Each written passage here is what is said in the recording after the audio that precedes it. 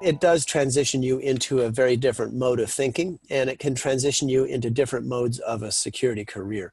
Now, one thing that's been interesting in the in the success of the cybersecurity pathway is outlining in a logical, clear, and yet accurate way about where uh, IT careers are. It's been interesting to see how uh, when I first started thinking about the pathways, there was uh, an organization I know, I won't go into it, that started using the pathways idea. And I started thinking along that, like, huh, well, they don't have the pathway. CompTIA has the pathway. And so then we came up with the idea of pathways.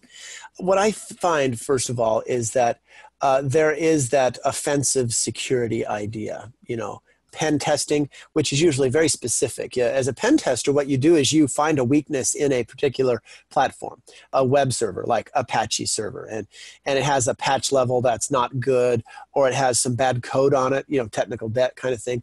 It has some bad code on it, and a pen tester will run that play against every single version of that, no matter where they can, based on a statement of work in the company. Okay, that's what a pen tester does. A red teamer it kind of takes that idea and is much more uh, I would argue, much more uh, in depth, uh, much more creative because they're not just looking for a specific weakness and trying to repeat it from you know from web server to web server. They're looking at the entire IT infrastructure and are trying to find any sort of problem, whether it be oh I've noticed people aren't uh, shredding uh, the gar the garbage as they throw it out there. By garbage, I mean the, the paper that they throw out. So that's how I get people who have written down passwords, and I get the passwords, and I get information about how uh, all of these systems are working together just by dumpster diving.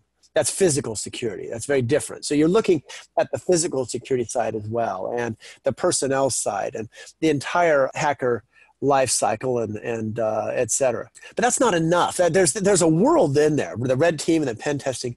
But what we're finding is that more people are really valuing the ability to trace and identify each of those things that I talked about, whether it be physical attacks or logical attacks.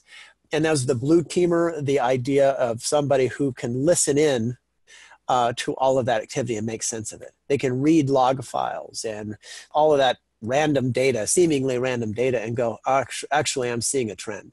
I can tell that there's somebody attacking here.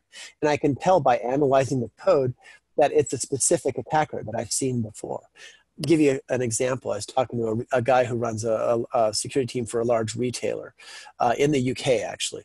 And he said that he was able to identify a specific club or group of attackers because they were using a particular form of code that had some misspellings in it and some actual some actual uh, words in it that no other attackers there were thousands of other attackers but these other ones were very talented but they kind of had a way of communicating that identified. And only blue teamers, analysts, can come up with that. It's not just your offensive security people.